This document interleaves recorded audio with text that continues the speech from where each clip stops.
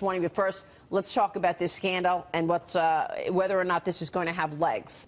Well, look, when the New York Times goes back over 30 years to find somebody who had a bad airplane flight, that's, that's the essence here. Yeah. I'm, I'm happy to stipulate Donald Trump in the past. This is not the Donald Trump that Callista I know, but Donald Trump in the past may have been crude if you're willing to stipulate that Hillary is both corrupt and dangerous. Yeah.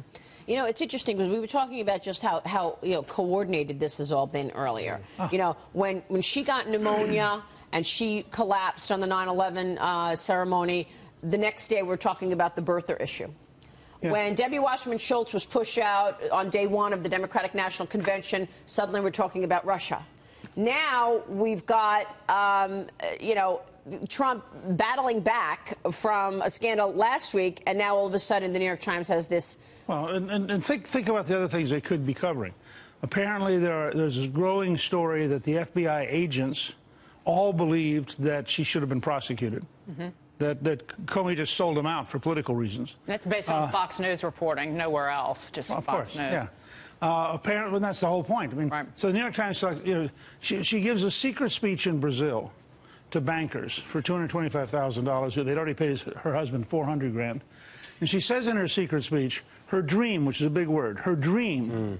is a Western hemisphere with no borders. Now, mm. not only does that mean 600 million people could come in the U.S., but it means that MS-13, the murdering gang in El Salvador, the, the Mexican drug cartels, the Colombian cocaine dealers could all come into a border. If, if Trump would just slow down and focus on a referendum, if you agree we should have an open border for 600 million people, vote for Hillary, if you think we should actually control our border, vote for me.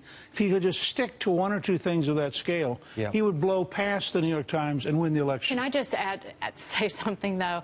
Since literally the Republican convention, that is actually the phrase that we've heard over and over and over again. If Trump would just right. blank, dot, dot, right. dot, ellipsis.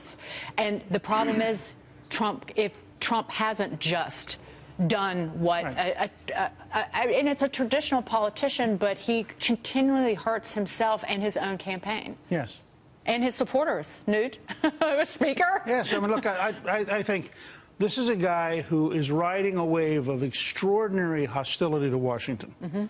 Of people who think the city's corrupt, which it is, people who think they're being sold out, which they are, and so he has, he has, a huge base. Callista and I have been out doing book signings the last couple of days, and the people who turn out are overwhelmingly anti-Clinton, and therefore they're overwhelmingly for Trump. Mm.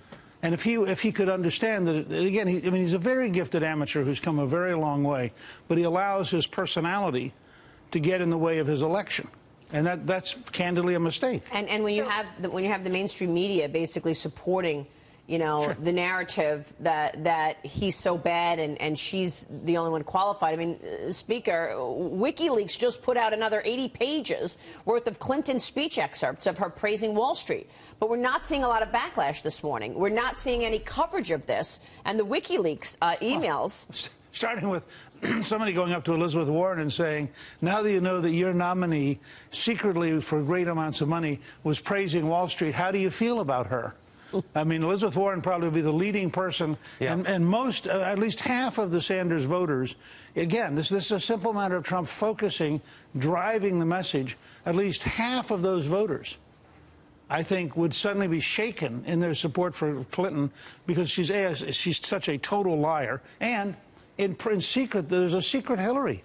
And the secret Hillary who's coming out on these various leaks is, a, is a, frankly, a fairly frightening person. In her own words, she said that. yeah. Now, something I want to talk about is, uh, and we were just talking a little bit about this, when Donald Trump is polled out loud over the telephone, he has a different result than when you do an online poll. When you talk to people in a focus group and they say things out loud versus what they write down in private, right. totally different result. Interesting. I'm seeing in online polls Donald Trump is outperforming his telephone polls by about six points. What? Why wow. is but, but, that's look the, the elite media, and it's not that the elite media is for Hillary. The elite media is Hillary. They are they're the same organism. They are the left. They are the establishment. They're doing, and of course, you lived through this with Brexit. That's right. They're doing everything they can to suppress the vote. And of course, luckily, we still have a secret ballot in this country. And so you're going to see Trump run well ahead of whatever the last polling number is. Plus, they just plain cheat. I mean, that last CNN poll, which oversampled Democrats, was taken before the debate. And if you watch the same data the next two days, his support comes back dramatically after the debate because the truth is, when people think about Senegal, oh yeah, she is a liar. She stands for terrible policies. I'm opposed to virtually everything she wants to do. And, and you're just seeing this, by the way, in the article again this morning, uh, which didn't quite make page one of the New York Times. The Afghan army is crumbling. I mean, the, the Clinton-Obama strategy in the Middle East is disintegrating in front of our very eyes, despite the best effort of the news media to avoid it. Yeah. I think it's quite clear now that, that, that the argument for change has been made and that people understand that that's what's needed. But how, in the very few days left, do you think that he really can get to that big question of, of, of delivering the big change the country needs and getting rid of this failed system, this failed elite? Well, how does he do that It's- when it's you've got day after day, Can he cut through you've got noise? these stories coming was out deliberately media, from with them? social media.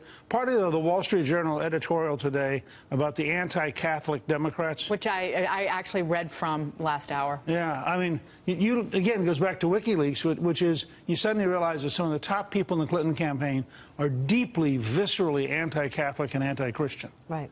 And then you think, gee, I wonder what kind of judges They're they would recommend. anti-faith, really. It's Anti-faith. regardless. Yeah. And by the way, if those remarks had been made about uh, Muslims, Muslim, exactly. That- President Obama would have a press conference about it, do, condemning what, it, what had been said if it was a Republican who made those remarks. Imagine, imagine comparable remarks about gays and lesbians. And also, just remember, in the in the last hour, we had a clip from from her where she is calling him dark and divisive, and all this is coming out. She goes, she goes high when everyone else goes Right. low.